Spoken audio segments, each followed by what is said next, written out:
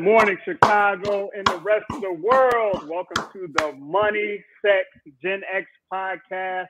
This is season five, Big uh-huh. Stu. Season uh-huh. 5 episode number five. Wow. Should you start a not-for-profit? How you doing, fam? I'm well, brother. Glad to be live and direct. Glad to be in here, man. Excited for this conversation.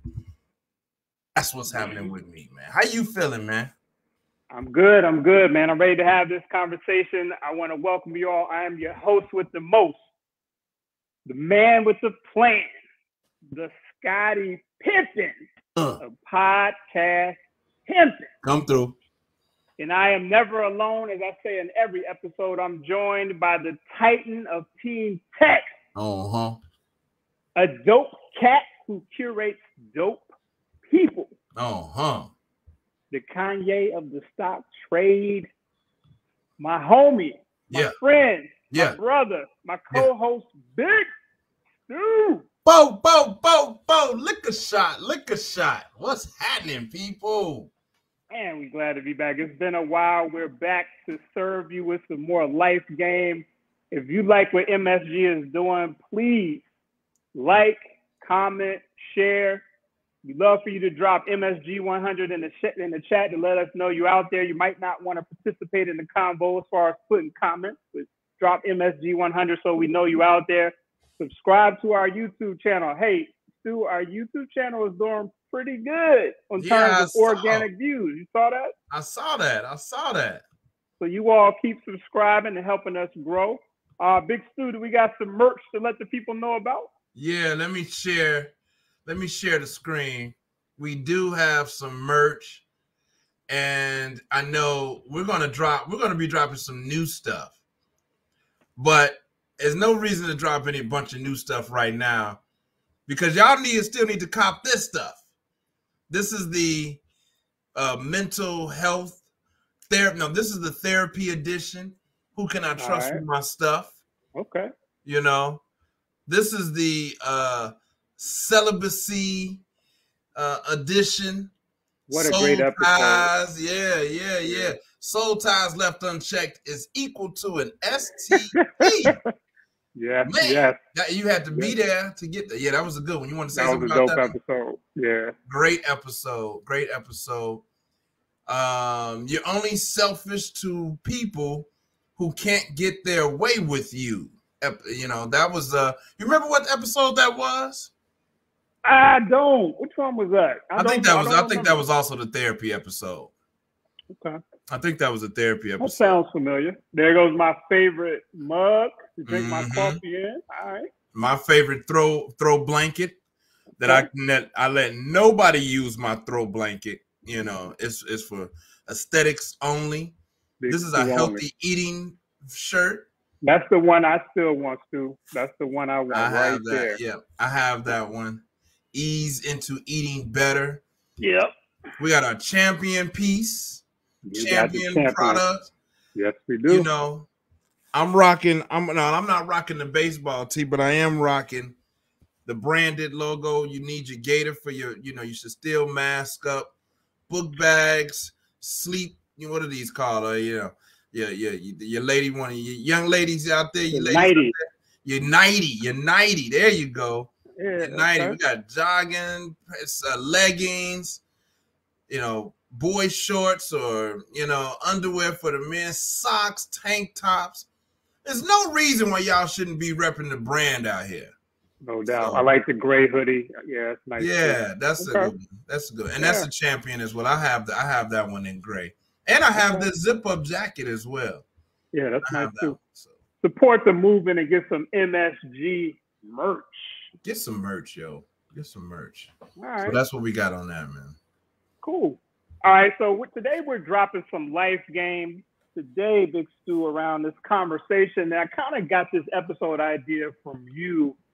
I don't remember which one it was, but you were making a comment about, and we're about to bring on some really, really solid guests that I can't wait for you all to meet.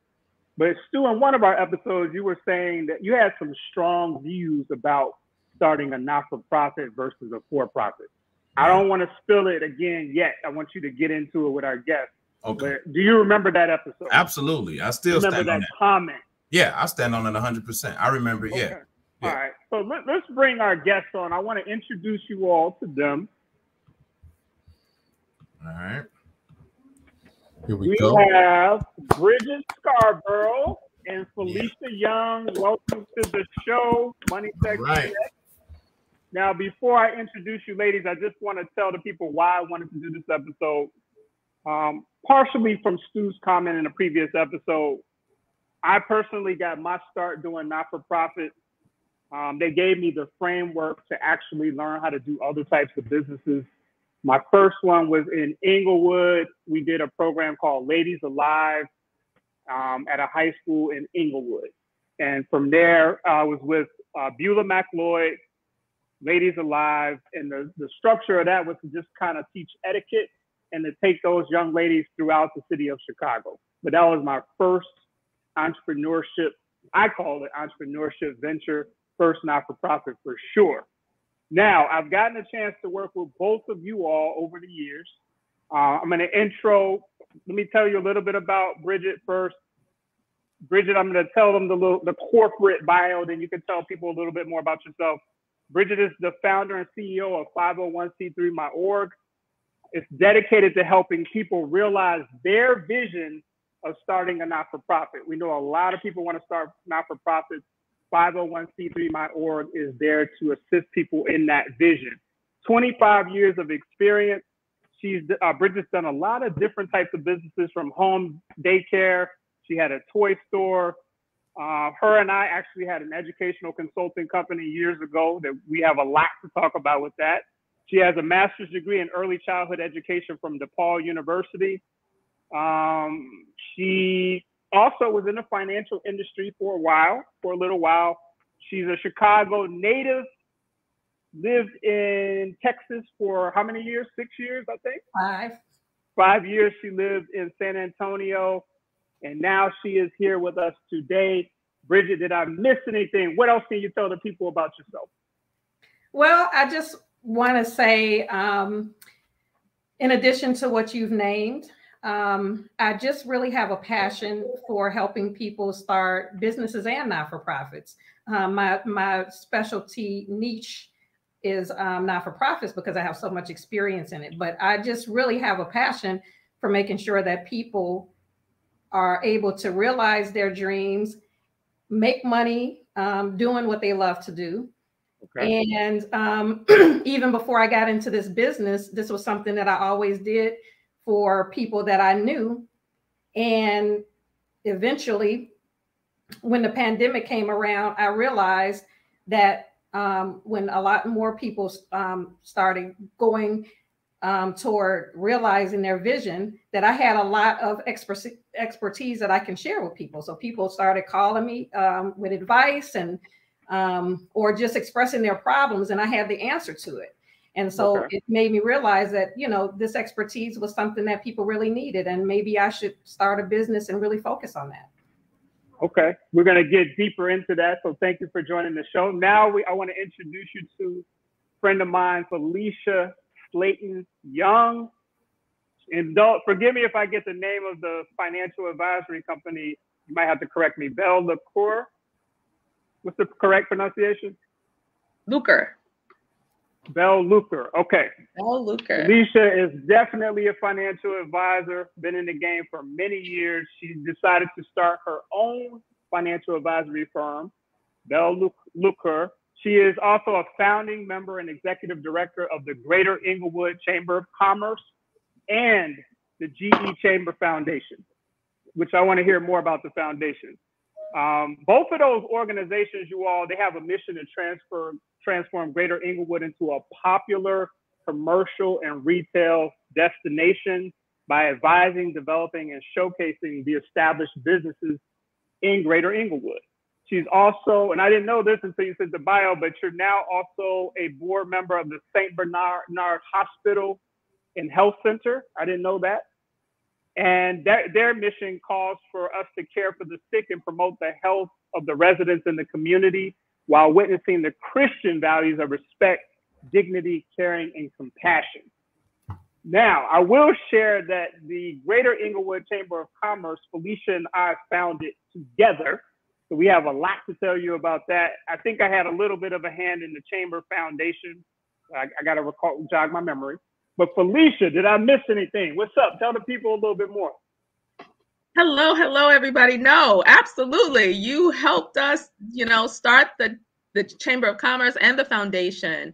Um, and it's been great, you know, working with you at that time to build that. Doing a lot of work. I can't wait to get into this subject because, you know, it's it's it's a lot of passion. It's nonprofit is just like any other business, right? The people who started are focused and they have a passion and they have a mission and they want to see it, you know, through to success.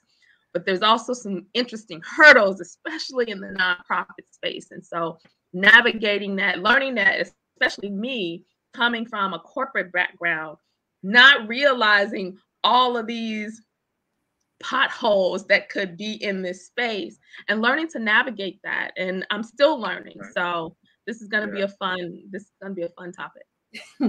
okay. So let's get into it.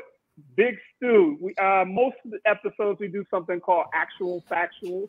Uh, yeah. Usually, before we start getting into our experiences and our opinions, we try to drop a few facts to frame the conversation.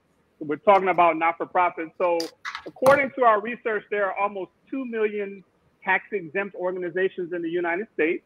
Mm. Um, the not for profit sector, 10% of the American, it constitutes 10% of the American workforce. Didn't know that. I probably would have thought it was a little bit higher than that, uh, which equals 11.4 million jobs. They say that Americans are generous according to our research. Total charitable giving is around 390 billion per year. Wow, billion with a B? Billion, 390 wow. billion. Uh, approximately 63 million Americans, which is 25% of the adult population, volunteer their time, mm. talents, and energy mm. making a difference. And the last one I'll give is there's three most common types of not for profits according to our research. Um, number one is religious organizations, three is educational, mm-hmm. and third is foundations and grant making organizations. Mm-hmm. Okay, so that's kind of what's going on in the not for profit space. Then I also did a little bit of research that suggested that many not for profits are struggling right now, which I don't think is a surprise, particularly from what they say, uh, those started by Black founders. Okay. So I would like to talk about that a little bit. But Stu, first, yeah the comment that you made in the previous episode was pretty heavy about your perspective about whether people should start not for profits. Can you let the people know about that comment? Yeah, before I get to that comment, I also just want to acknowledge I just had a conversation yesterday explaining to someone that Chicago Public Schools is a nonprofit. Chicago Public Schools is a nonprofit entity. Definitely. May not be a 501c3. Then I had to go into that 501c3 is a tax code de- designation. It's there are many different nonprofit tax. It all depends. There's so many. So a lot of people have a lot of misconceptions about nonprofits. And here's my thing. And Felicia, I think you started to allude to it. And I don't understand why so many black folks rush to start nonprofits. And I'm I'm putting a little sauce on it. I'm I'm saucing it up a little bit. I'm I'm being dramatic a little bit. I don't understand why so many black folks be first business they want to start want to be a nonprofit. What? I disagree. To your point, Felicia, a nonprofit is a business. Lots of black folks need to be worried about ownership. Mm.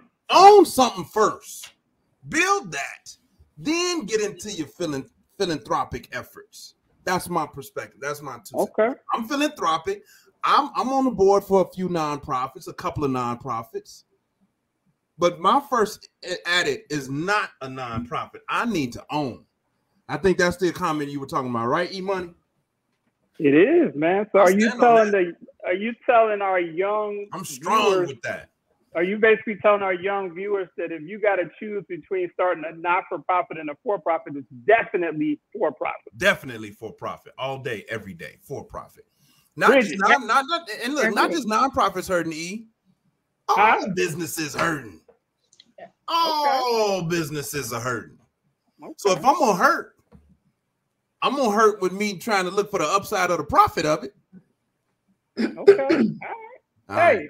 I, I know I see gon- Brit. now I see want- Brit. Wait, now you, you got two not-for-profit heavyweights here, so I want y'all to push back. Bridget, what's up? What you got to say about that? Well, well, actually, I do not disagree necessarily with what he's saying in terms of own something first. I think actually that would be a great if everything was to work in the proper way.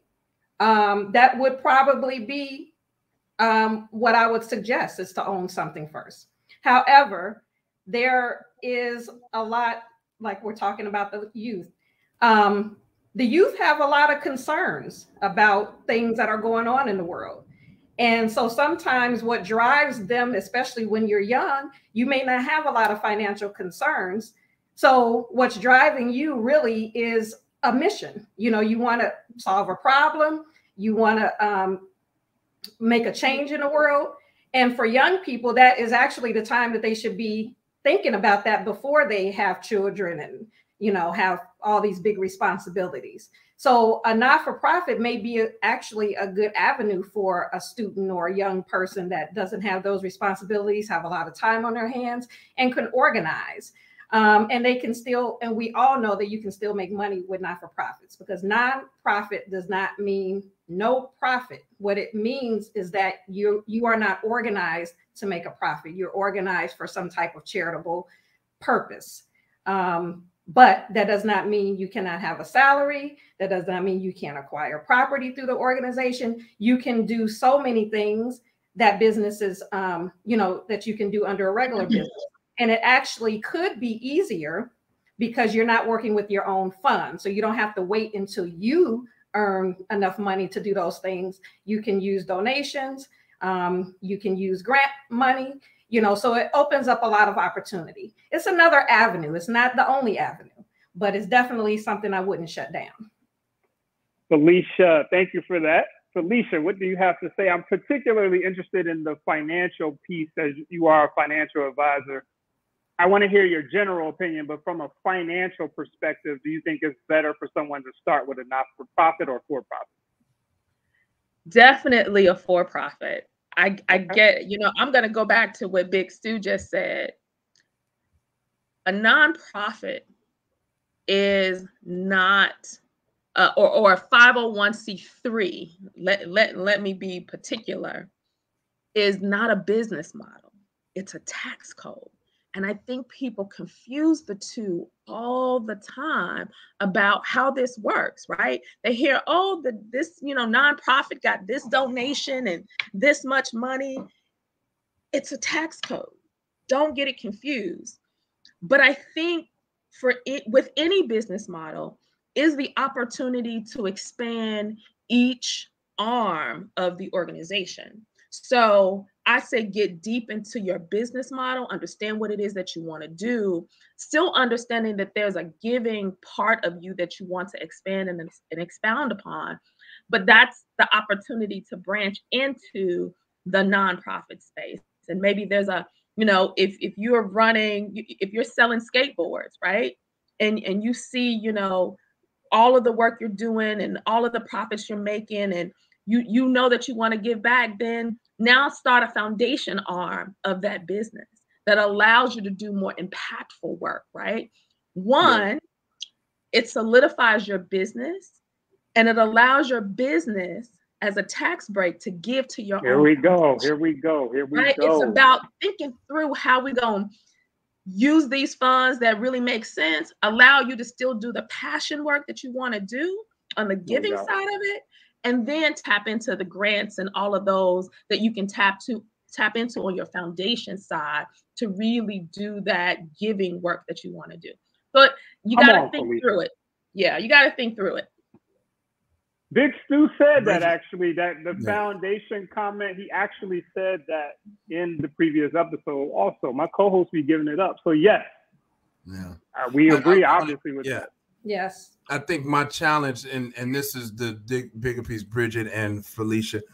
I was just finding I was coming across too many people, to your point, Felicia, who just didn't don't even understand what it is.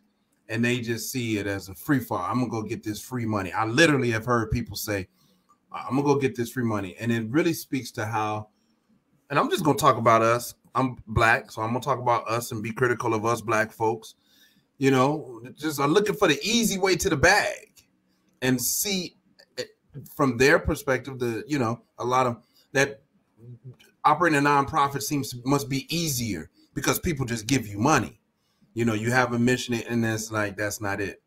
That's not it. So that's absolutely true. Um, that's why, like with my company, 501c3 my org, when I take on a client, there's a whole education piece that I do because a lot of clients come into the door thinking that it's going to be easy and thinking that they don't need a plan, that they can just get a 501c3. They don't even know what the 501c3 is. They don't know what the responsibilities of a 501c3 is. There's a lot of responsibilities that come with a 501c3. They're not thinking about the board. They're not thinking about exactly. the mission. Right. Those are the people that I'm talking to about Right. No. And that's and that's part of the reason why I did this because I started this organization or sorry, this company because this is an actual company, not a. So, not so wait, wait, wait, wait, wait, wait, wait. Let's get this right. Hold on, hold on, hold on.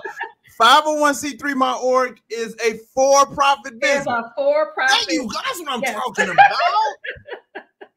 yes. And and what I do is I educate people about how to do this the correct way and what they're getting into.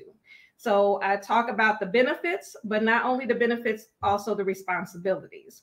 And I I feel like I wouldn't be much of a consultant if I didn't give them that broad picture because I could easily just say, okay, I'll give, you know, I can fill out the application for you and give you a 501c3. That's the easy part.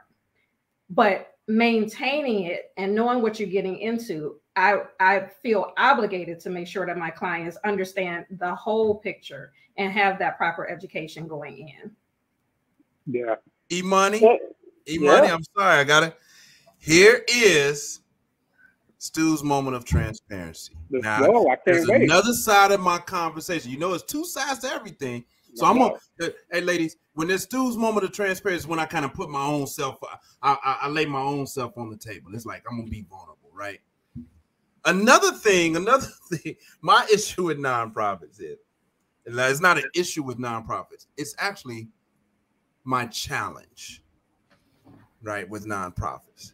I think that it is far more difficult to promote the mission, the purpose and mission of a nonprofit than a for profit. Mm.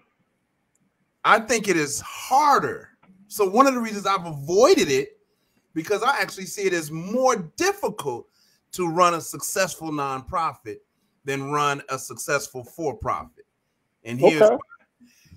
you got to get people to buy into the mission and give up this money, right? For your for your purpose and and you have to constantly constantly constantly promote that. And that is very very hard work. So Bridget, to your point, you can give anybody the, the, the status, the 501c3 status, but they got to go fundraise and get people to dig into their pockets and give them money. I fear that. I think it is so much easier. We're talking about levels of ease to do it in a for profit setting than to do it in a non-profit setting. So I fear that. And that's my moment of transparency. Stu's moment of transparency. Okay, so it's harder in your eyes. Now, that, now I, I want you harder. to be transparent about this for the people. Have you actually started a not-for-profit organization yourself? I've attempted to start a 501c3 once. Before. Okay. Okay. And then right. I said, I will have to do this when I have two things more time and more money. More time and more money. Okay. So he got some credibility. He's done it for profit. He's tried to start a not for profit. And that's what I want to segue into. What, let's talk to the people about what really goes into starting a not for profit organization. Stu talked about the difficulty. Uh, Felicia and Bridget have kind of mentioned some points about yes, you're solving a problem. It's, you know, you need a lot of different pieces to make it work. What goes into it? Felicia, how would you go about the process now being seasoned? How do you approach not for profits now versus how you did when you were younger? That's, I think that's a good question. Um, there's a lot of credibility to what Big Stu just laid out there for for us. Um, the reality is, nonprofit in any form is still a business. And just like starting a business, it's about having capital to start, right? And so I really want to walk into this saying that, yeah, you as a nonprofit, you can figure out how to find the money, but that's where the work is, right? Especially when you are a startup with nothing, right? You're basically funding it from your own pocket. And we we did that with the Chamber of Commerce, right? We funded it from our own pockets and, and found ways to one show our value as an organization by making sure that we were walking in our mission, right?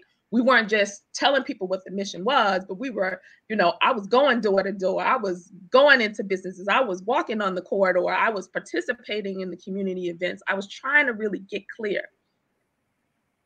But that didn't necessarily bring the money right away. Right. right. And so the challenge really is that whether it's a for profit or nonprofit, everything is easier if you have a bucket of money to help you out to get you started on the path. Bucket of money. You need that. You need yeah, that, right? You know, yeah. And it goes back to what Big Stu said about, you know, how do you get people to believe in your mission? And I ain't gonna lie, from the sister girl right here, is it, the reality is Chicago is cliquish. Mm. Nonprofit space is cliquish. All right. And it's about knowing folks. And if folks like you and they like what you're doing and they see value in it, you ain't even got to apply for the grants. They will tell you, we just want you to fill out this one thing that tells us no who you are and what you do. And we gonna write you the check for a hundred thousand dollars. Very true. But that doesn't happen all the time. Yeah. That was work that's work you have to put in establishing yourself that could be five six years in right that's right that's but not many black led black established nonprofits sometimes don't make it to that five six year mark to the point where that that can begin to happen so it's a real reality check about are you doing this for the bag because if you are you're not going to be there for five years that's or true. are you really in it for the mission Right. Because the mission will keep you going, knowing that eventually the money will come as long as you continue to, to work the values of the mission. And that mm-hmm. really was the learning curve. Now, I didn't walk into the chamber saying, Oh, I want to get to the bag.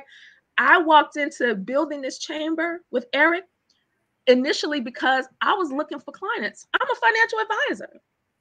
And I'm saying to myself, there must be an Englewood Chamber of Commerce because at the time I had about three or four millionaires mm-hmm. who lived in Englewood very discreetly. And what I said to myself, there must be more. Let me join the Chamber of Commerce so that I can click into them. That's the evolution of the Chamber of Commerce because I found out there wasn't one. I was like, okay, we got to build one. But I stayed on that path. So, wow. Yes, yeah, I remember those early days in the chamber. Something else I want to throw in about that. When what really goes into it, you're going to have a lot of people who start the journey with you, who they may disappear. Yes. You know, I remember, and I'm not naming names, obviously, but we had people early in the chamber. They were like, "Yeah, we want to do this, and we're down for the mission," and they literally, Stu and Bridget, disappeared never heard from some of them ever again. So my advice too would be kind of be prepared for that. Like that mission that Felicia is talking about and that problem that Bridget is referencing that you want to solve, you do have to let that push you through when things get rough because they will inevitably get rough. And to Felicia's point, Stu, and you notice this in business in general, yes, if people like you, it's helpful. And also if you have a track record that you can point to. Because I would even say this and I want to get you all's opinion on this in business and not for profits. People could not even like you, but if you can point to something that you did that was successful, it helps you tremendously. Yeah. They might not even like you, but they cannot dispute what you have done. What do you think about that, Bridget? Well, um, I, I, think that that point is very valid. I also wanted to just speak on something in general, what I've been hearing from Felicia, from yourself, from Stu. A lot of the obstacles that we're talking about in business, I'm sorry, in not for profits, are the same that you would experience in business. Mm-hmm. So there, there's a philosophy out here that you shouldn't even be starting a business until you have a bucket of money. Um, so, you know, you and and there's a lot of people that don't take salaries for years in their business. I knew a guy that actually had a million dollar company, met the president of the United States when Obama was in office. He had a video gaming company. He had about three or four employees, and he still worked at IHOP overnight.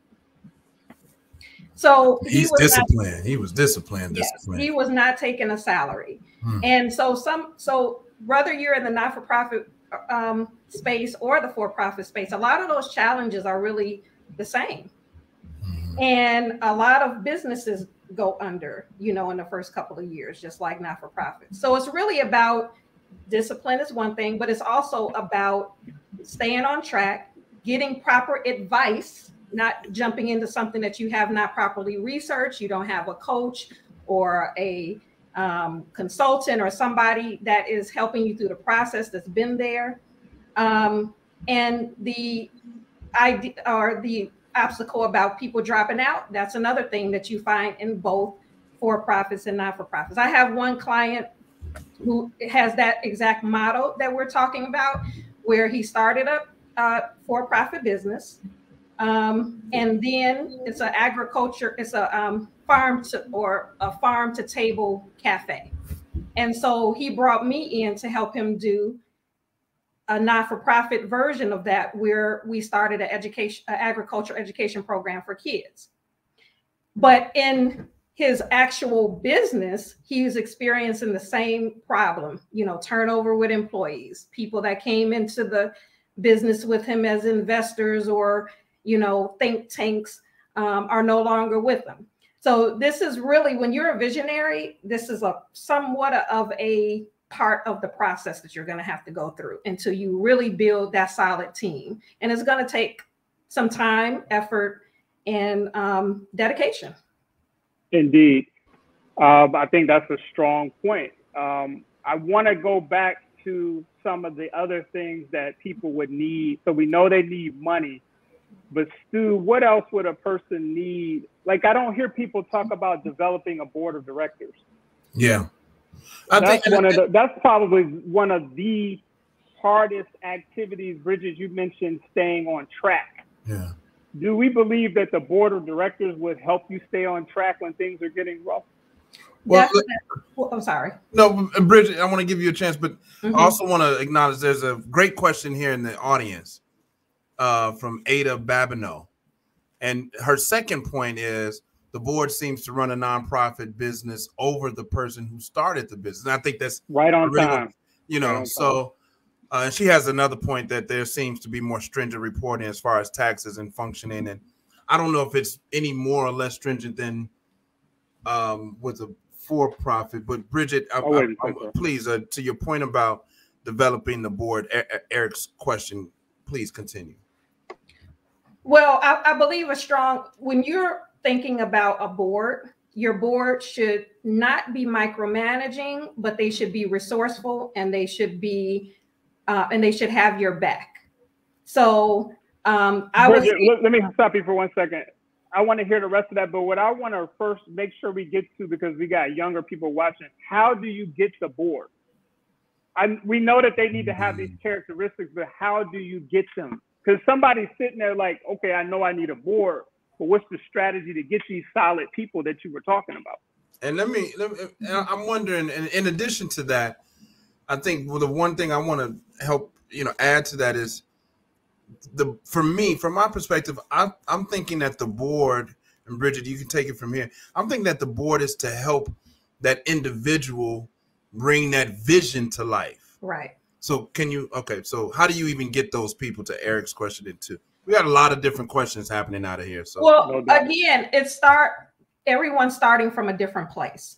So sometimes people are starting from scratch and they don't have a lot of resources um, in terms of people, you know, human resources. And then you have other people that are in that world where they know a lot of people with money, they know a lot of people that are philanthropic. Of course, those type of people have an advantage.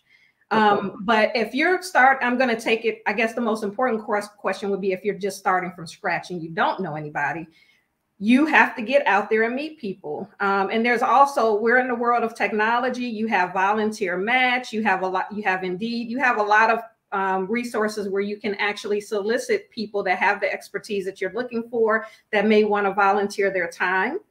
Um, as you're doing events and and networking and telling people about your programs, you know, see who is excited about doing, uh, you know, about being involved with this type of initiative. And you just begin recruiting that way. And also know what expertise you're looking for. You need to have a grid in writing that says, I need a lawyer. I need Good a point. Good point. um, you know, I need a um, accountant. I need Great somebody with a not-for-profit management background. I need a couple of people who have started a not-for-profit. If it's in education, I need some teachers, some retired teachers on board. You know, so there is a lot of you, you have to know exactly what you're looking for, and then that will guide you in terms of where you go to look for these individuals and how to spot them. But one of the things that I will say, because there is a lot of people that are concerned, one one of the major concerns I, I hear, and I don't know how, and um, Eric, you're good at researching, so this will be a good research project. Um, but I think a lot of people are overly concerned about the board taking over their um, their organization. So one of the concerns that I hear a lot is, well, if I get a board and they vote me out, now I'm no longer part of the organization that I started. This is a fear that everyone has. Yes. But personally, I've never seen that happen. Not to say that it hasn't happened, but I've never seen it happen. That doesn't mean it doesn't happen. And um, like I said, Eric, you may want to research how often does that actually happen, and should that be a real fear? And I'm gonna Okay. tell you why I don't think it's a fear because most people aren't down for really doing the type of work or the putting in the time and effort that it really takes to run an organization. So I would not board members really are people that are busy doing what they do every day in their own career, but they have a kind of a um, a concern about the problem that this organization is solving, and so they want to see that initiative happen, but they don't necessarily want to be hands on day to day, you know, doing that grind work. So I don't think it's as much of a fear as people think it is. well, I'm Um, gonna speak to that. I want to speak to that. That's a good point. First of all, I can't really take that much credit for being a good researcher. I think I'm good at hiring people who are good. so I'm not gonna try to take that credit. Um, I'm a good recruiter. I'm a great recruiter. But let me say this, people, they will get rid of you now. mhm. They will get rid of you on your not-for-profit board. When I first started my first not-for-profit, I was talking about Ladies Alive uh, with Beulah McLeod. The the lady who was coaching us got voted out of her not-for-profit, and so she said, Eric and Beulah, you need to understand going because this is what happens, Felicia, and you might have seen this. They're not going to vote you out when you're struggling and trying to get it together. They're going to vote you out once it gets the prestige and the funding comes in that's when you're at risk for getting voted out because now it's attached to my brand. Big Stu, we got this multi-million dollar not-for-profit. I'm on the board and I get to take all these pictures. That's when I feel and what I've seen, you're at risk for being voted out. Felicia, have you seen that and are you worried about that? I haven't seen that, but that th- that's y- y- your um, comment about when it could happen is absolutely dead on. Um, I go back to Bridget's point when you're struggling, nobody is interested in coming in and taking over your day-to-day operations. They don't have the Right. capacity for that. But they also don't have the same passion for the mission that you have. They support the work and the growth of the organization. And so, yes, it can happen. But what I will say when we think about starting a nonprofit and developing that that board, right? I, identifying who we want to be on that board. You're going to have probably about four to six turnovers before you get a board that's really on board to do the work of oversight because that's really what the board is designed to do it's just mm-hmm. oversight. True indeed. Are, are, you make sure you're not stealing the money. Right, right? responsibility. really. And we're moving forward with the mission yeah. I mean that's really and, and it's a it's a lot of so that first board are going to be people who support you yeah. And once they, re- as you move a little further, get a little further ahead, it's going to be more than they probably want to continue to do in terms of meetings and all of that because there's so much happening. You want to share everything and you want to make sure that people know what's happening. And you're going to have turnover. So I wouldn't put all your eggs in one basket on the first board. Of course, you want people that will support you, and it's really about helping you market this new organization. But I agree with Bridget and Eric is that you will have to get as your organization grows you got to get real strategic about who you need on your board to help you move the organization forward you need an, an attorney that can help you guys look through legal documents right and and establish some legal and um, groundwork to make sure that the work that you're doing and all of the people you have doing some of this contract work that that remains confidential. You're going to need a CPA that's really given a second set of eyes to i mean we have a cpa on the board but we also have an accountant and we need those mm. second set of eyes in case something is missed right sure i'm not an accountant i'm a financial advisor so i need Very this different. person to do that work and i go back to what eric just said i'm good at hiring and selecting the right people i'm never trying to I can't be the marketing person and the HR person and the accounting person and understand all of the legalese that I need to be clear about. You will develop that over time. And so don't feel like before I start my, I have to find an accountant and a CPA. You might not find all of those people all at the same time. Maybe you get one or two, but know that it's it's a it's it's you know just like anything it is absolutely not a sprint it's a it's a slow, targeted marathon. And you're going to go through some turnover, not just with operations people, but absolutely with your board. So just prepare Fantastic. for that. Fantastic point. Stu, are you going to say something? Yeah, I wanted to. So all of exactly all of that you said. I wanted to speak to. I wanted to go back and speak to the turnover piece because I think that's super important. I struggled with that in the beginning of my businesses so the turnover is turnover. Remember, we're saying, and I'm talking to the audience, we're saying that whether you're a non for prop non-profit or for profit, it's the same, right? You have the same mission, same purpose. You got to raise money. You're trying Solving to solve a problem. problem. It's all the same, right? And so I struggled with turnover in the beginning of my businesses, taking it very, very personal. Like it's something I'm doing wrong. Now, right. it may have been some things I was doing wrong, but nevertheless, that turnover, that churn rate is really high in the beginning. You're just gonna have it because you're still figuring out your own mission, your own continuity of it. And some people just you got to be really, really structured. So I just want to encourage people in the beginning to don't be too discouraged about the level of turnover that you some people come in for seasons and reasons, right? And right. they see what's required and Great what point. you're asking. Things may be going on in their lives, and they just pulling up. So it's okay to have that turnover. And then there's one more piece. I want to make sure. So I'm always talking to people who are at the very beginning of starting. I, I, my audience is people who have an idea and are needing to get it out on paper to see if it becomes something. Mm-hmm. What happens in these conversations that I generally have lots of pr- trouble with is we we often talk in spaces of we're already on, right? And so we have to remember that we're talking to people who uh, a lot of us are talking to people who are considering, right? Who are thinking about, they have an idea and they don't know where or how. So when we talk about having this money, access to money, I just want to say, look, don't worry about the money in the beginning. Do what you have to do out of your own pocket mm-hmm. first. Just do what you can first. Build something that is a proven concept first.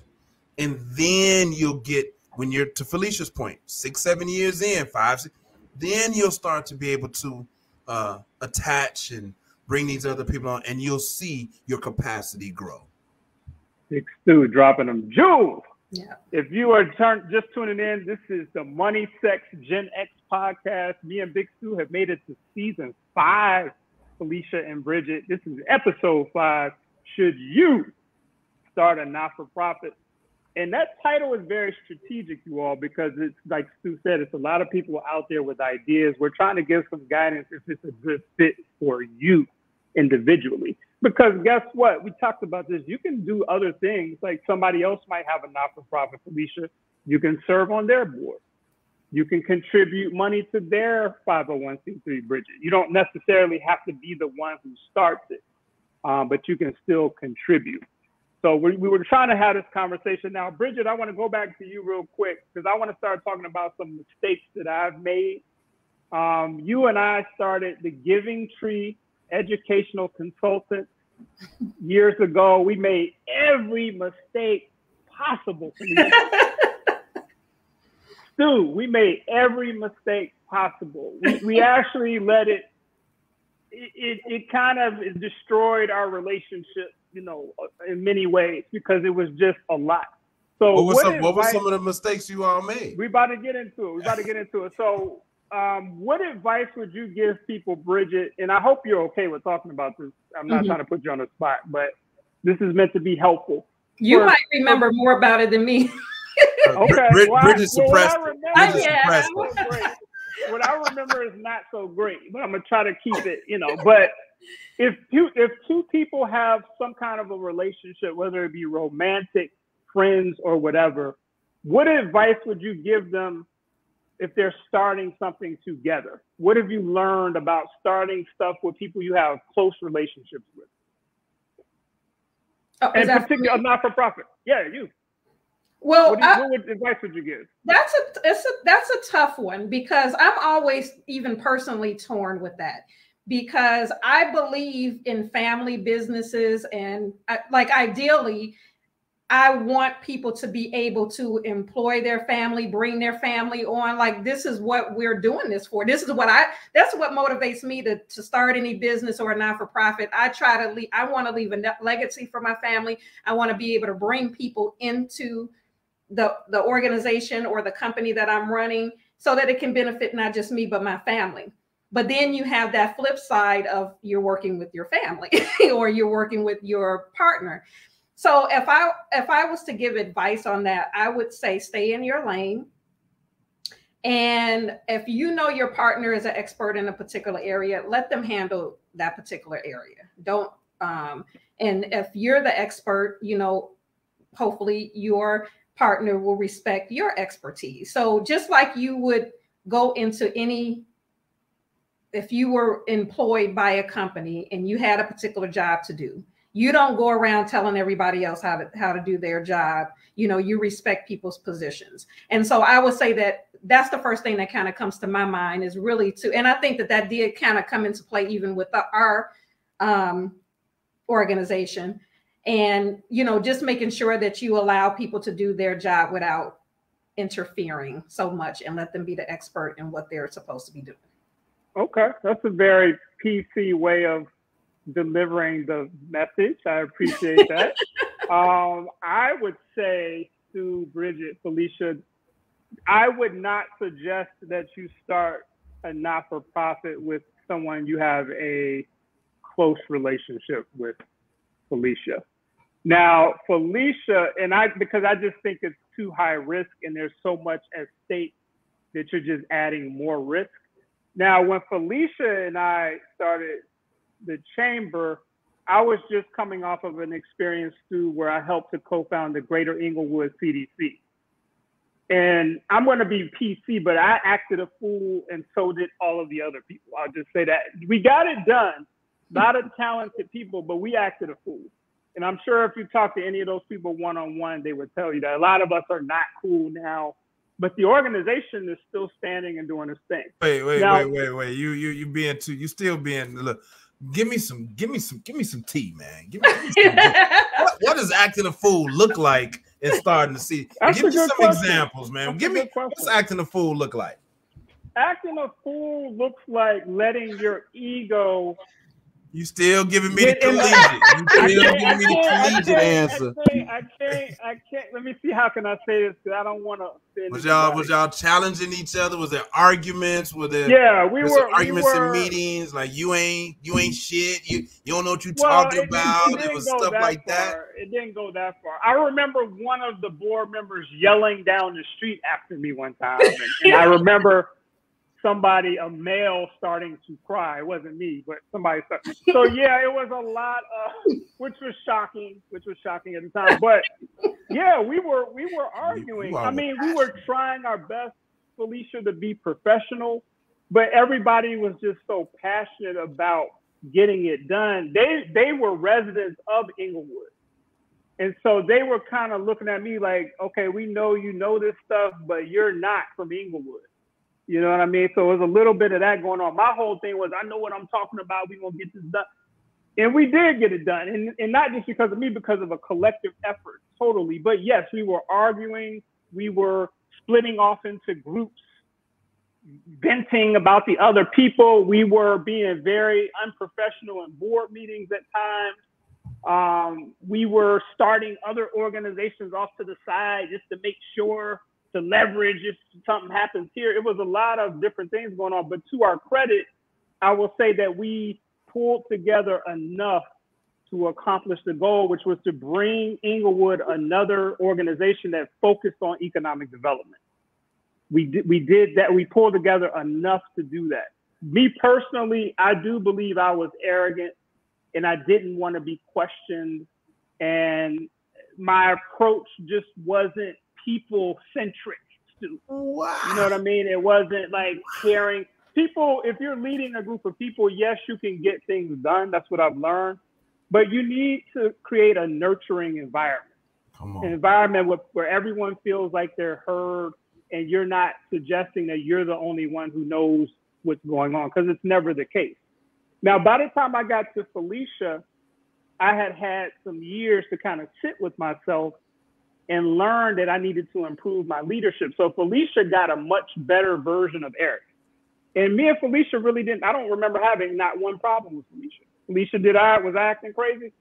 I don't, I don't. No, so. no, not at all. I think I think to this day, I think we have a really solid relationship. And even after, you know, um, Eric moved on from our board, you know, I still checked in with him and gave him some updates on where the organization was because regardless, he's a founder. He's a founder of this work. And this is still going to be in his legacy books as an organization that he helped start. And so I think it's just good for him to know where we are, what we're doing, how we're elevating. But also, I, you know, I talk about challenges, right? Um, want to go back to what he said about, you know, learning to be people centric. And that's not just in the organization, but that's in the community in which you're being a nonprofit, right? Yeah. So I know I'm, I'm steering a little bit to the curb, no, but please, please, please, also understanding that I walked into this nonprofit space with no nonprofit experience and didn't realize how much politics was involved right? Blindsided me. I'm thinking that I'm just doing good work and I'm trying to, you know, be very helpful, but I didn't realize I was stepping on toes, like yeah. because it wasn't in my peer, peer view, right? right I didn't right. know that, you know, who I should be talking to and what relationships I was building.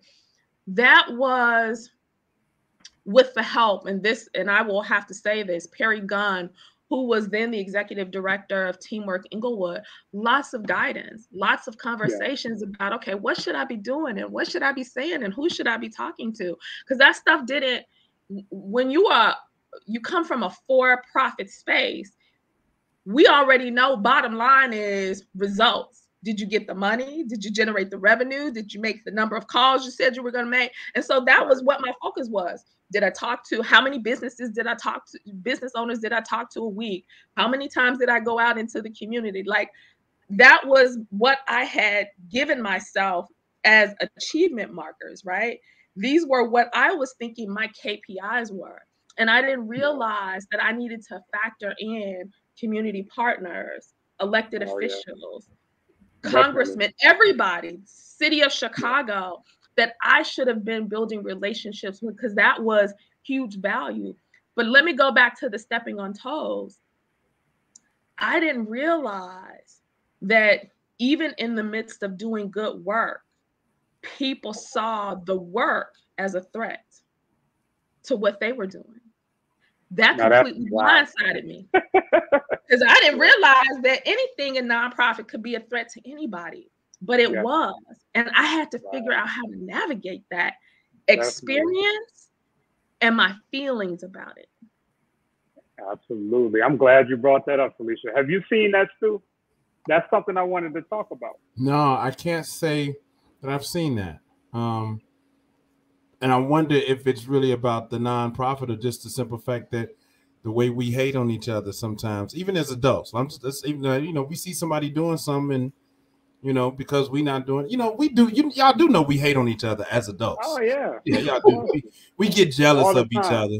We get yeah. jealous. Um, so I haven't really seen it. Um, so yeah. But well, we I want to get, I want to say this, I, I, and I'm glad you brought that up, Felicia, because one day I'm going to write a book about my experiences with not-for-profits. I'm going to write a short little book, but one of the chapters is going to definitely talk about letting all of these side things get in the way of serving the people. I used to sit in these board meetings for all different types of organizations, and I'm hearing about everybody, Bridget, but the person that we're supposed to be serving. Mm-hmm. So we'd have an organization about kids, but nobody's mentioning any kids. Right. We have an organization about economic development, but we're not talking about anybody developing economically, Stu. And I, I really had a problem with that. I was guilty of it too, but I feel like it happens far too often because we let our brand and our ego get in the way of the Felicia, the mission. Why am I really here? Our mission was really clear. We need to get these businesses in Englewood support. She says, How did you navigate that? Wow, that, that could be a whole show. I would say you have to definitely block out the noise block out the noise and keep your inner circle kind of tight. And this is cliche, but I do think it worked for me. It's like you got to block out the noise. And in every board meeting, Felicia, and correct me if I'm wrong, we did this in the chamber and the CDC. Before every board meeting, we would read the mission statement. It was actually on the agenda. That's big. That's big. So that everybody, before we even start talking, you can remember why we're supposed to be doing what we're doing. And I think that was one of the biggest strategies that helped. Um, Bridget, how would you say a person can navigate all of this uh, kind of losing sight because people are hating and they feel like you're stepping on their toes, or in my case, hey, you don't even live here. What you know about Englewood? Well, I'm going to throw a word out there that I think we need to remember, and that's the word humble. I think when you're doing, a, when you are involved in a not for profit, you have to be humble, especially if you're the founder. Um, because when you, you have to understand that when you become a not for profit, you are actually, you're, you're not a business in the sense that you own it. It's really owned by the public. It's for the benefit of the public, and it is, it is a public entity. And so um, you have to start using terms like we, not I. You know, one one of the mistakes that I know I personally have experienced with some of my clients is that I have to kind of retrain them to say, you know, there I did this and I did that and I'm going to do this and it's no longer I. it's we. You know, you're a not-for-profit organization and it's we meaning you the board the community you know what are we going to do and so when you're walk if you're saying things like i this and i that it can actually spark some feelings among the other team members that you're you know involved with and if they're actually putting in work it might not be as much work as you but they're they're putting in work and they're contributing they want to hear you um, say things and honor them you know through your language and how you're describing the organization. And so that's one transition that you have to make when you're going from maybe working as a um, entrepreneur in a for-profit arena and delving into not-for-profit it is no longer i this and i that and that's not really respected in the not-for-profit world as it is in the for-profit world. You know it is Very really about the mis- mission. Um, you don't want your face on every periodical you know it's not about you it's the people that you're helping. The people that you're helping their face needs to be on on there. The community you know your efforts your initiatives um, the results of those initiatives the volunteers that's another mm-hmm. great people yeah.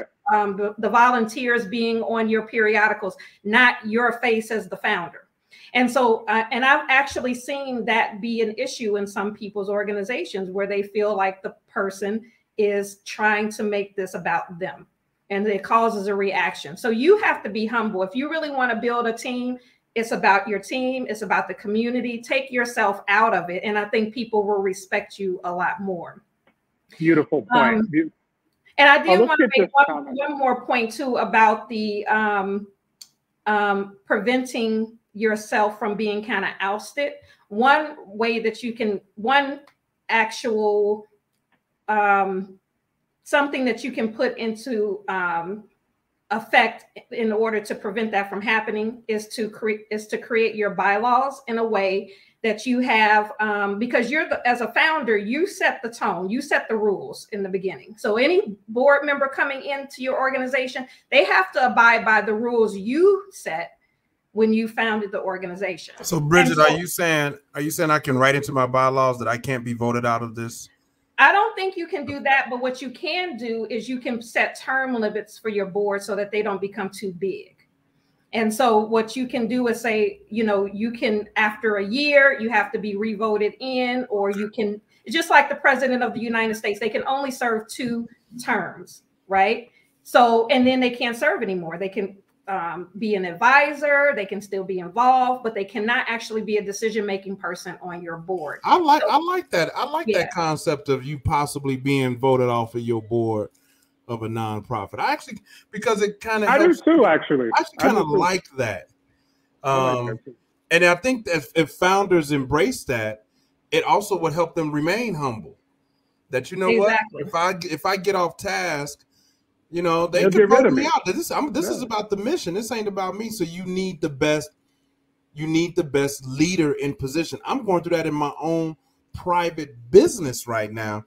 Well, I recognize that I may not be the best CEO. Wow. I need to find another CEO. So yeah. I'm not. I'm not. I'm not against um, founders of companies. Mm-hmm. Companies I'm not against founders of companies being voted out. Me either. I'm I not against. Good idea. That's powerful. It, it, it's a yeah, it's a gut check to be voted out. I can imagine it's it's painful. Like, damn it, I started this thing and they voted me out. But I think that, makes you better, right? No question. We have I another agree, question in the uh, audience. Okay. After That's how many years should you be concerned about not turning over a profit for your nonprofit, especially since you don't want your passion to be a hobby you want it to be a thriving business. And so the first thing that came to my mind when I saw it is maybe you need to be running a for-profit business. Yeah, because it's really not about turning a profit, but it's about how are you generating enough revenue to continue to grow and expand the nonprofit operations, right? And so an example of that, so let me, and I'll try to make this as quick as possible when we were starting the Chamber of Commerce, in the very beginning, Eric and I was really clear that this should have been an arm of the CDC. Absolutely. This should not have been a separate organization. Absolutely. We knew that the Community Development Corporation was focused on economic development, right? And they were going to get in that real estate arm. And what we said was, great, let us build the chamber so that we can really connect to the existing businesses but me also thinking the existing commercial property owners, right? Let's right. make sure that we're tapping into all of the people who are already out here doing something so that they can feel like they have a voice in things that are going to be happening in Englewood and that they're participating and that they have, you know, information that's coming, you know, that the CDC was getting from the state, from the county, from the city, that we can say, okay, as members, you're going to get this information right away. We're going to make sure that you have all the tools to be really successful. And we were really adamant this should not be two separate entities, but they were not interested. First, they were interested, then they weren't interested. And then once we moved forward, I mean, when I say interested, they didn't even want to have a conversation, like an official conversation. We're saying we're going to do all the work, help us with a little bit of funding. And then once we get it going, we're gonna peace out because this is like this. We just want to help get it popping, right? Right, right. You're so we end up having to start the chamber on our own, which is fine. But with any growing business or organization, it's really about it's just me. I'm marketing, I'm outreach, I'm doing it. Now it's about generating enough income from grants, from whatever, so that I can hire more people to reach more people. I was working full time and still mm-hmm. doing the chamber. So this was not my full time focus, but I was still very passionate about it. So it wasn't about I'm trying to have a lot of money in the coffers, which is helpful, but it's helpful for continuing programming, hiring people and actually giving them a salary because ain't nobody gonna work free, just me them first five right. years, right? So right. every step of the way, right? We have two new employees, we have ADP, we have an accountant, you know, we have auditors. Like we are slowly getting there. And each year it's about how do I get more money to do the next thing? And the next thing for us is healthcare. The next thing for yeah. us is more people. So now I need, we have one program manager, now we need a program director. Now we need a dedicated marketing person. Now we need this. So it's really about are you actually growing the team to do the broader, more intricate part of the work? Because you, as one person, you can only reach so many people. Exactly. And I want to, we're kind of, uh, our time is going a lot faster than I thought it was. I knew this was going to be an intriguing conversation. I want to give you all a chance to make some final thoughts, and I, but I want to make a quick point first to your point, Felicia, about those people, those individuals not being willing to basically partner or consolidate, that's one of those things I would say to people, you kind of have to, you kind of have to maintain your focus on the bigger picture because that was disappointing. But that's an example of where politics got had more of a hand in the mission of the community, of serving the community. That's a perfect example. And, it, and at the time, it's like, this doesn't even make sense. Like, why? But it, if we were to talk to a lot of these people now who probably aren't even part of any of this stuff, they probably would agree. Like, wow, that was short sighted. I was caught up at the time. You know, maybe I'm pretty sure a lot of, I've talked to some of them, sure they've grown from that, but it made absolutely no sense. All right, we're rounding home base, ladies. Thank you for coming on the show. I want to give you, and this, if you're tuning in late, season five, Money, Sex, Gen X, episode five. Money, Sex, Gen X is really about giving Gen Xers an opportunity to talk about their lives, things that they're passionate about, and to give some game to the younger generation.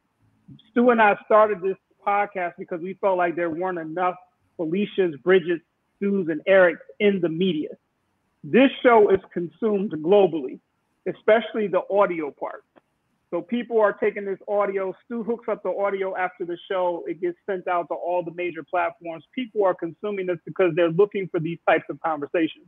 So again, I want to thank you. We're going to honor you by promoting your different companies, promoting your bio on our website and all of that because we feel like it's extremely important. But take us out with your final thoughts about should you start a not for profit? Based on Bridget's comment, the, the title of this show should have probably been Should We Start a Not for Profit and taking the you out, right? Nice. That was nice. Yes. But Bridget, take us out. Take us out on this conversation about not for profit. What are your final thoughts? I think that there's value in starting a not for profit. There's also value in starting a business. And we're in a age where actually the hybrid of both actually makes sense.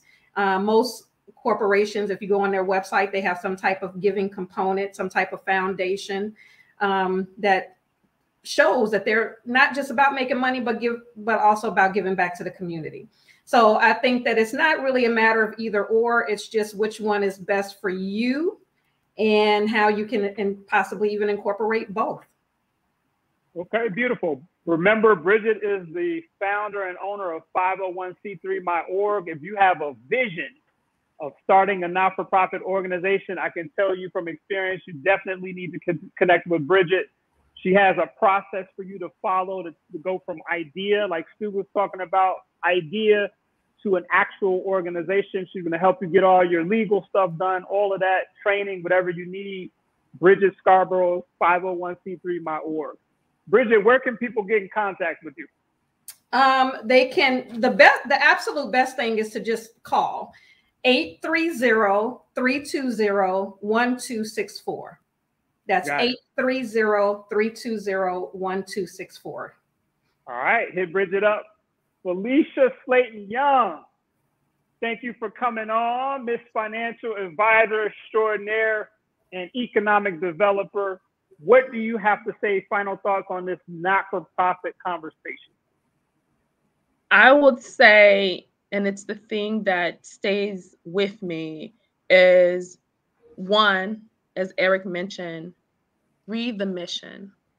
The goal is to prevent mission creep. Make sure that you stay on task. That has helped me to stay in my lane, the chamber's lane we're focused on what we are trying to accomplish and not what anybody else is doing. And I think that's been really the formula to our growth is being clear about what we came here to accomplish and all of the steps that helps us accomplish that. Do that and you will absolutely see um, the the fruits of your labor. Okay, no doubt. All right, thank you for that. Now, where can people? So we got people that's like, oh, I didn't know she was a financial advisor. So where can they get in touch for you for that? And then where can they get in touch with you as far as the chamber? Sure, you can definitely uh, for Bell Lucre visit my website www.bellucre.com. You can get on there, uh, learn a little bit about who I am, what I do, and schedule a call um, for anything small business related, uh, support, um, growth, or, or, just a conversation, definitely seek me out at fyoung at gechamber.com or definitely visit our website to learn more about what we're doing and how we're doing it www.gechamber.com. All right. I wanted to talk about the foundation, but we ran out of time. But go to the GE Chamber website. You can find some information about that. Quickly, Felicia, can you tell people about your background back there? What are those images that you have in your backdrop? Wow, these images, uh, and you don't have the full scheme. It's just really photos over the years of all of the things that we've done. That first picture that you see is our very first fundraiser that we had. That second picture I remember that. Uh, I remember that. below is one of the barbers, a SUNY Powell's Barbershop, Powell's Barbershop. We've had a lot of different events over the summer, me talking to business owners um, and, you know, other events that we've done. Uh, we we did a little um, what we call the GE Chamber Marketplace out in the courtyard. So we've done a lot of good stuff. And this was a great way to kind of capture it. The business plan, comp- Englewood business plan competition. Definitely, if no you're a small doubt. business no owner, yes. you're trying to get yes. some capital. Yes. They're giving away anywhere from ten thousand to twenty five thousand dollars every year. So make sure for real, for real. on top of that, right? So Real. yeah, you always trying to get do good Proud work. that. Love working with all of the organizations in Englewood that support all of the work that we're doing in our growth, and most importantly, appreciating the partnerships and the love we're building amongst the other nonprofit organizations in Englewood. Absolutely, no doubt. Love both of you ladies. Thank you for coming on. We will definitely continue to work together and stay in touch. Talk to you soon. Wow, what a great episode, Stu. Can't hear you, brother. Uh oh, my bad. What a great episode. What a great episode. I think I cut Bridget, are you still there? I think I cut you off. Uh you were I think I cut you off in the middle of you saying thank you on your way out. Oh What yeah, I just said thank you, and There I'll you be go. looking forward to getting my mug. Oh, okay. Okay. All right, God. That's what's up. That's what's up. Thank you. Thank you, All right, bye bye. All right. Thank you, Ada right. Babineau, for your comments and engaging us Yes, today. We thank you. Thank that. you, Ada. Oh, Very Always good feedback and, and questions. So, Stu, we got a couple of quick things to run through. Yeah, let's get to I don't it. know if we have enough time, but we're going to do it anyway. All right, so we usually do something called characters from corporate. Um, it's basically people giving their feedback about their experiences in corporate. This one's going to be short, since we're kind of running out of time. Uh, we had somebody write in from Atlanta, Georgia. Stu, they work at a marketing agency. They are in a situation where they are working virtual and they feel like because of their skin color, they are being targeted. This is a black female from Atlanta, Georgia. Uh, she says she's a millennial, being targeted for not working hard enough in a virtual environment.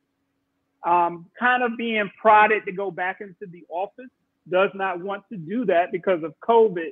And she basically wants our feedback on does she do we think she's being overly sensitive about people trying to make it look like she's not working hard enough and should she just kind of stay the course or find another corporate situation characters from corporate what do you think Well, off the bat, I don't think she's being overly sensitive about it. I think it's it's a real it's a real question to ask. Uh, I wouldn't want to go back into the office.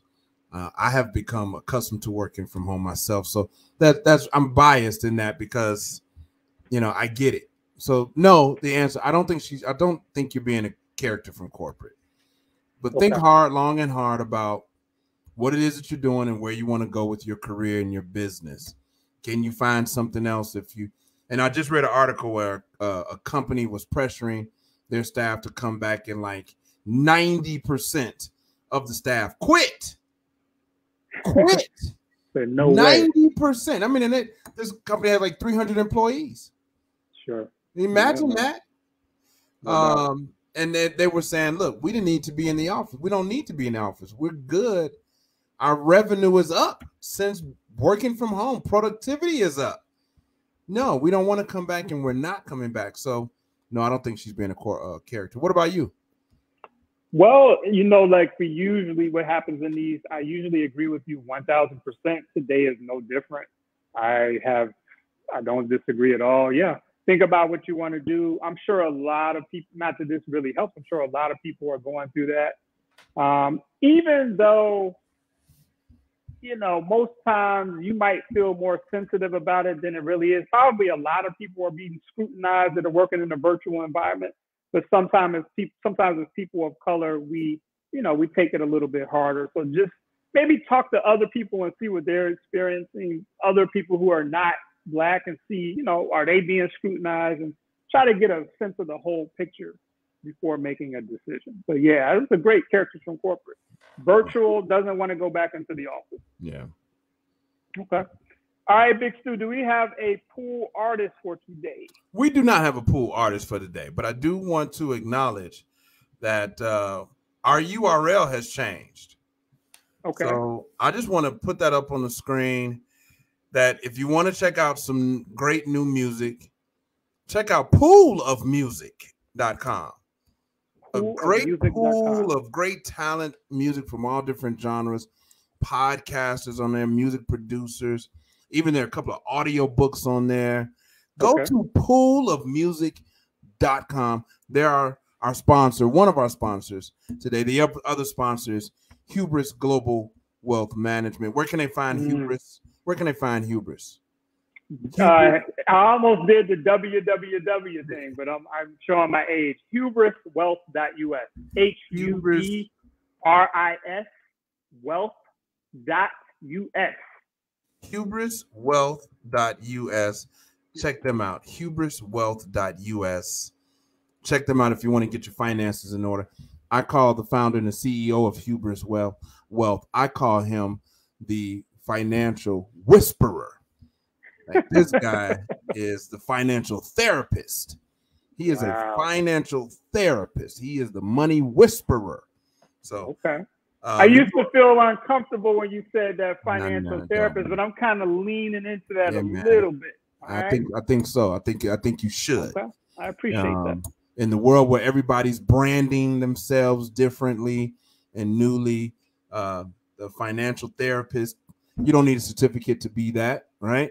Um, it's just a moniker, you know. So okay. I like calling you that because you helped me personally through a, a, bunch of things, and I'm able to still stand on some of those principles today.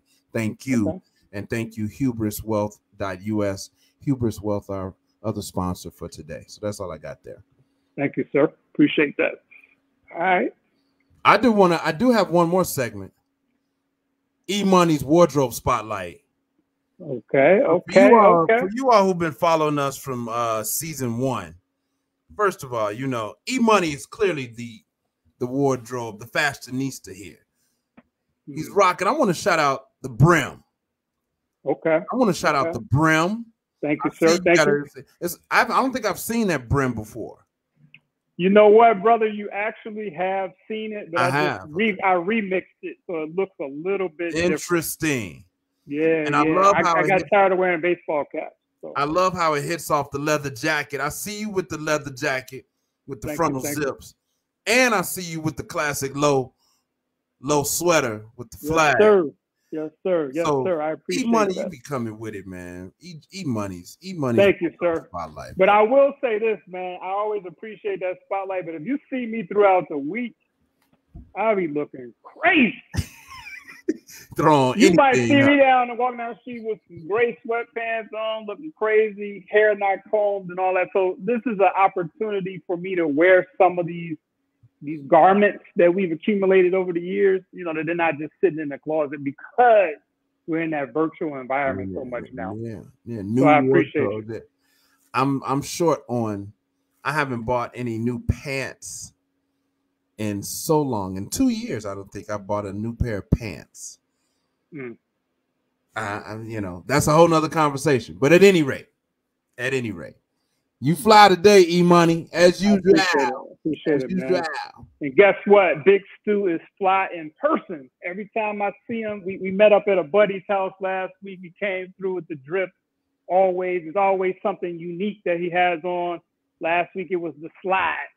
Oh yeah. And I'm like, wow. And I had my slides in the car. I'm like, man, I should have brought my slides out, but you know, you held it down. So I get inspiration from those I'm around. Like hey, there you go. Great time last week at the homie's house, man. No doubt. No great doubt. time. That's what a great episode, man. Yeah, so man. very informative. More, right?